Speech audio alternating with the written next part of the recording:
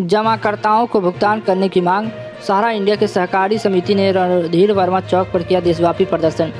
रणधीर वर्मा चौक पर संयुक्त all India India जन आंदोलन संघर्ष न्याय मोर्चा के बैनर तले सहारा इंडिया के सहकारिता समिति ने देशव्यापी विरोध प्रदर्शन किया। संयुक्त ऑल इंडिया जन आंदोलन संघर्ष न्याय मोर्चा के सदस्य नागेंद्र कुमार कुशवाहा ने बताया कि सहारा इंडिया द्वारा पिछले कई वर्षों से जमाकर्ताओं को भुगतान प्राप्त नहीं होने के कारण मानसिक तनाव में आकर सहारा इंडिया से जुड़े हज़ारों कार्यकर्ताओं और जमा कार्यकर्ताओं ने आत्महत्या कर ली। इसके लिए पूर्व रूप से जिम्मेदार सिर्फ़ सहारा समूह सुब्रत राय ओम प्रकाश श्रीवास्तव है। सुब्रत राय ओम प्रकाश श्रीवास्तव पर हत्या का केस दर्ज कर उन्हें कठोर से कठोर सजा दिलाई जाए।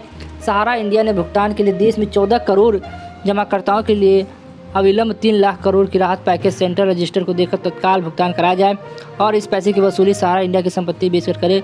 जो लोग सहारा से पीड़ित होकर आत्महत्या किए, उनके परिवार को एक सदस्य को अविलंब नौकरी देने की व्यवस्था करे। सहारा कंपनी भुगतान नहीं कर रहा है। उक्त सभी सोसाइटी और भारत सरकार द्वारा लाइसेंस देकर संचालित किया गया और समय समय पर इसकी ऑडिट भी केंद्र सरकार द्वारा कराने की ज़िम्मेदारी है। इसे सहारा इंडिया के समस्त कार्यकर्ता के भुगतान करवाने की ज़िम्मेदारी सरकार की बनती है।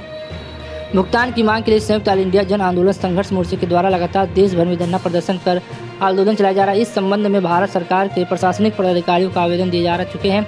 इस धरना में प्रमुख रूप से रंजन कुमार वर्मा, सुशील अग्रवाल, जितेंद्र मिश्रा, प्रभात कुमार मनोहर विश्वकर्मा तपन सेन, हरिपद, रवानी, रंजीत सिंह मनोज शाह आदि लोग उपस्थित थे। बहुत ही बड़ा धोखेबाज है।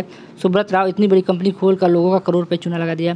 आपको क्या लगता है? अपना कमेंट करके ज़रूर बताया इसके लिए बस इतने फिर मिलते नई वीडियो में। जय हिंद, जय भारत।